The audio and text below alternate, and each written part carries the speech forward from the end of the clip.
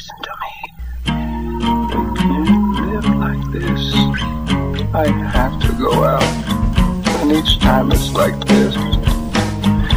I get so scared that they'll take you away.